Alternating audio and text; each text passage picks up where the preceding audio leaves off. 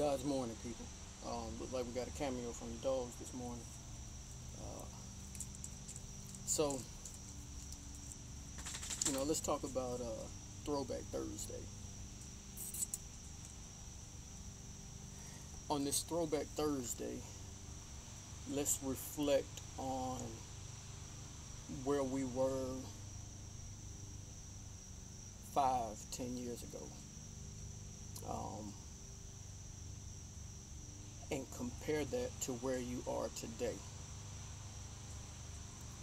I'm hopeful that for most of us, when we do that, that we find ourselves in a better position today than we were then. Things may, everything may not be better, um, but hopefully we're in a better overall position.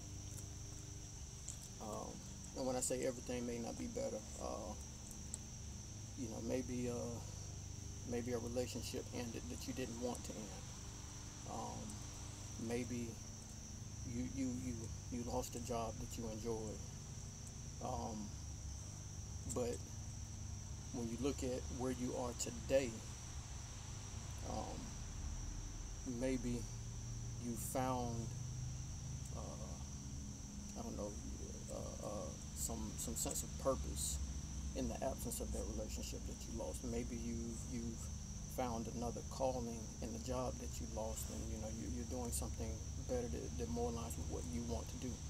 Um, but the goal is to be better today than we were yesterday, meaning long term, be better in 2020 than we were in 2015 and 2010.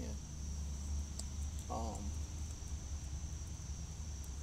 so the only way we do that is if we learn from the things that have happened in the past, apply those lessons learned, and continue to build towards the future.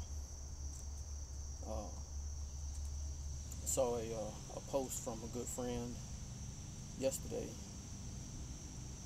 and I don't remember exactly the exact wording of the post, but um, you know, it said something about uh, something along the lines of uh, struggling, struggling to be successful.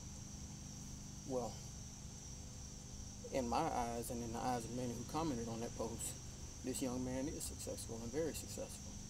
So I think it's important to realize that you may not be where you want to be,